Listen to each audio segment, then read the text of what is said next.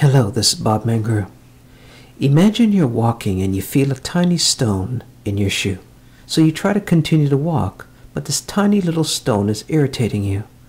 And no matter how much you try to ignore it, it bothers you. So what do you do? You simply stop, remove your shoe, and get rid of the stone. And once you do that, you can walk comfortably again, correct? Negative thoughts are like that stone. They are irritations to the mind. It is important to make it a common practice to throw away negative thoughts from your mind, just like you would throw away that irritating stone from your shoe. When or if a negative thought surfaces in your mind, say to yourself, I throw away that negative thought now.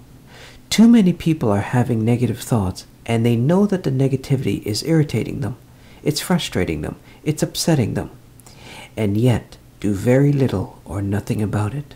They keep putting up with the negativity. And this is like trying to walk and put up with the irritating stone in the shoe. When you really see the connection between what you think about and how you feel, you will make a greater effort to guide your mind toward positive thoughts, positive memories, or positive activities for yourself.